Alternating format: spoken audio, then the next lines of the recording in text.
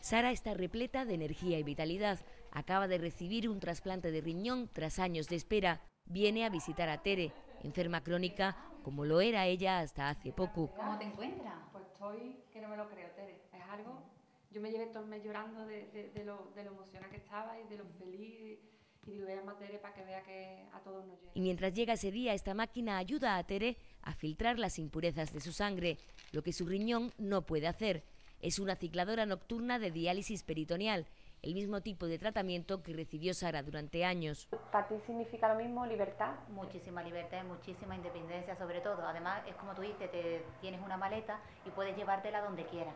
Porque este tipo de diálisis menos conocida permite recibir el tratamiento en casa a diario mientras el paciente duerme, mejora su calidad de vida y gana en autonomía frente a la hemodiálisis.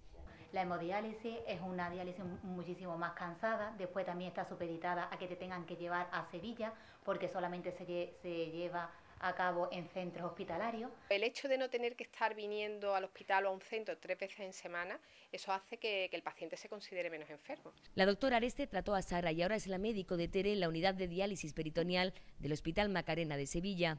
Explica que a pesar de su comodidad, no es un tratamiento muy extendido, solo optan a él menos de un 15% de los pacientes, aunque en su hospital esa cifra se eleva al 33%, la tasa más alta de España. Eso va a cambiar con los años, que se está está promocionando la técnica y, pensamos que, que, va a ser cada vez más conocida. En nuestro país, cerca de 5.400 personas sufren una enfermedad renal crónica. La mayoría de ellas esperan un trasplante de riñón.